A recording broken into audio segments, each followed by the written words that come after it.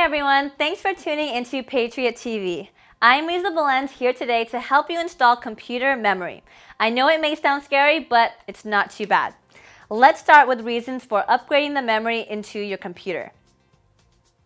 Your computer feels slower, you're experiencing lag during applications, you want to be able to open more applications, or the programs and games that you use requires more memory. Today, I'll help you with a few things to get it done right. So here's what you do before you buy the memory. Determine what type of memory you need. This should be in the original manual. Also, DDR2 and DDR3 are not the same thing. If you have DDR2, buy DDR2. After you have bought the memory, let's prepare for installing it. Let's start with a clear tabletop. You can do it on the ground, but hunching over could hurt your back, so try to do it on a desk or table. Adequate lighting. You will find yourself under the hood, so have some overhead light and save yourself the headache.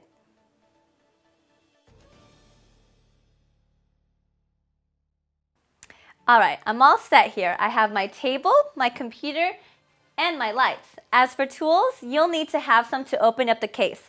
Once you're inside, you're good to go. Mine requires an Allen wrench, but yours might need a Phillips head screwdriver. Also, you need an anti-static guard. This thing, it goes around your wrist and grounds you, preventing the static shock. Just clip it onto something metal like the table.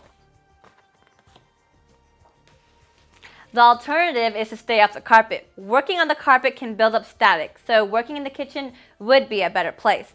And touch something metal before digging around in your computer. You don't want to discharge any static inside of your computer. Typically, the computer is accessible by the side panel. You should be able to find a couple of screws on the back railing edge. For this case, I have one screw, so we'll do that now. There it is, the memory. So I bought a kit of memory to replace what is currently in there. It looks like only one stick is installed. No wonder it's so slow. Jeez. So now we will remove the current ones. Push down and outwards on the side tabs. On both sides and the memory should now be released and you can just pull it out. Now let's install the new one. The module that's in here currently will be recycled.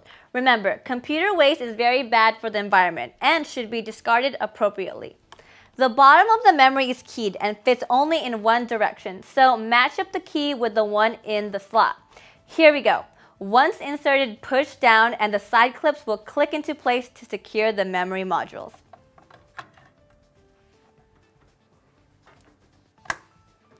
And that's it. Hope that helped you. Thanks again. I'm Riza Balens.